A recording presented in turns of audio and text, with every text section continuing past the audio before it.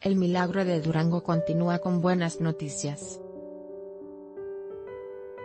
El día de hoy se dieron a conocer las primeras palabras del piloto del vuelo AN 2431 que se desplomó en el estado de Durango. De la voz del cirujano Jesús Grijalva, se conocieron las primeras palabras de Carlos Galván sobre el accidente de Aeroméxico.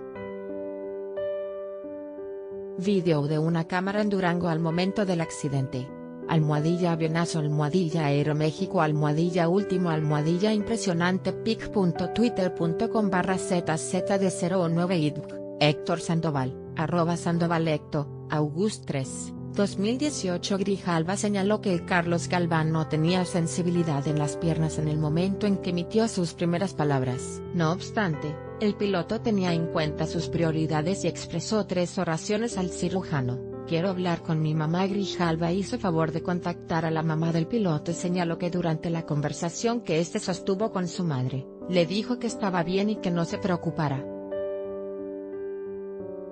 ¿Hubo muertos? ¿Cómo está mi tripulación? El cirujano contestó que no hubo víctimas que lamentar. Finalmente, Carlos Galván preguntó, ¿volveré a caminar?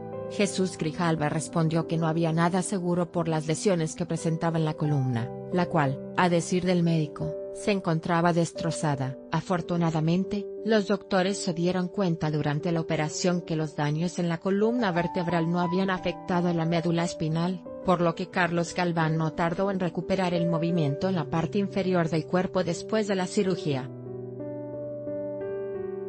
Muchísimas bendiciones capitán. Almohadilla Carlos Galvan. Y que Dios siga protegiéndolo en cada vuelo. Arroba Aeroméxico, almohadilla soy mexicana, 100%. Arroba Lucian Mari, August 1, 2018 El piloto, que se ha convertido en héroe nacional al evitar una tragedia mayor, se encuentra a la espera de ser trasladado a un hospital en la Ciudad de México para continuar con su recuperación. Con información de la silla rota. Héctor Sandoval y Excelsior. Anímate a comentar. Queremos saber tu opinión. Comentarios Power Eva y Facebook Comments.